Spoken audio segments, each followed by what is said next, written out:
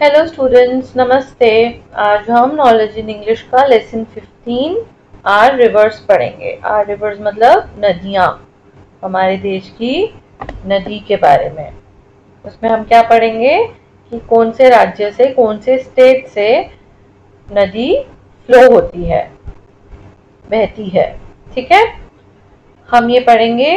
और आंसर आपको पता ही है, मैं ऑलरेडी लिखती हूँ यहाँ पर, मैंने यहाँ पे भी लिखे हुए हैं आंसर्स आपने इसको थॉरली लर्न करना है अच्छे से लर्न करना है।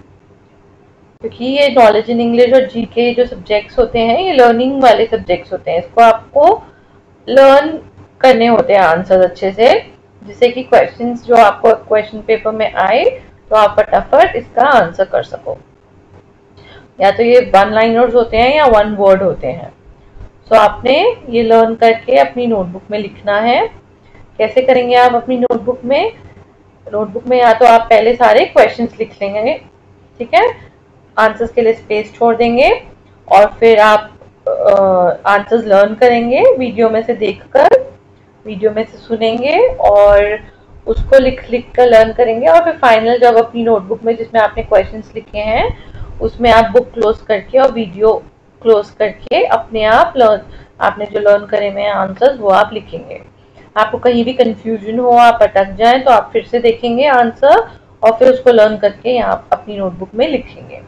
ऐसे आपको अच्छे से लर्न हो जाएगा। आप ओरली भी क्वेश्चन आंसर्स अपने पेरेंट्स को सुना सकते हैं या मम्मी को या पापा को। आप बोलेंगे अपने पेरेंट्स को कि आपसे, आपको क्वेश्चन बोले और आप उसका आंसर बताएँ।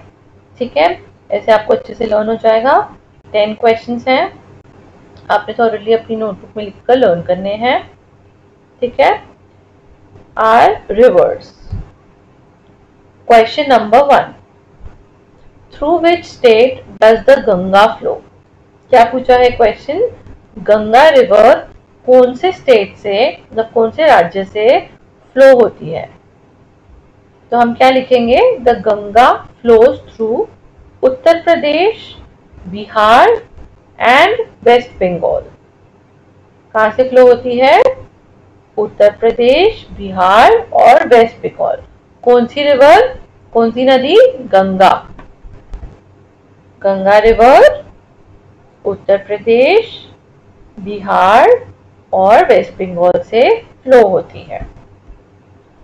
अब आपने अपनी नोटबुक में जब आंसर्स लिखेंगे सेंटेंस लिखेंगे और आंसर्स लिखेंगे तो आप आंसर्स को अंडरलाइन करेंगे, जैसे मैंने यहाँ पे करा है. ठीक है? ऐसे ही आपने सारे आंसर्स को अंडरलाइन करना है जो आप लिखेंगे। Question number two through which states does the Brahmaputra flow अब इसमें गंगा के बारे में पूछा था, इसमें ब्रह्मपुत्र रिवर के बारे में पूछा है कि वो कौन से स्टेट से, कौन से राज्य से फ्लो होती है। तो हम क्या लिखेंगे? The Brahmaputra flow through Arunachal Pradesh and Assam Arunachal Pradesh और आसाम से फ्लो होती है। Through which state does the Mahanadi flow through Mahanadi कौन से स्टेट से फ्लो होती है? Mahanadi flows through Madhya Pradesh and Orissa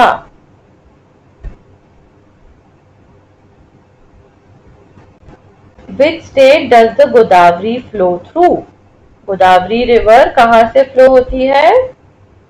Maharashtra and Andhra Pradesh. अभी नीचे वाले क्वेश्चन आंसर्स आपको थोड़े क्लियर नहीं होंगे, क्योंकि ये पीछे पिक्चर की वजह से शेडो हो रही है।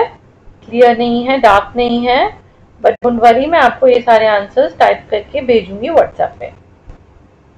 तो आपको इसमें अगर कोई भी कंफ्यूजन होगी तो आप उसमें से देख लेना through which state does the Krishna flow Krishna river कहाँ से फ्लो होती है? Karnataka and Andhra Pradesh through which state does the Kaveri flow Kaveri कहा से फ्लो होती है? Kaveri flows through Karnataka and Tamil Nadu आप कंफ्यूज नहीं होंगे, आप पहले अच्छे से रिवर का नाम पढ़ेंगे, उसको लर्न करेंगे और उसके बाद वो कौन सी स्टेट से फ्लो होती है, उसको लर्न करेंगे।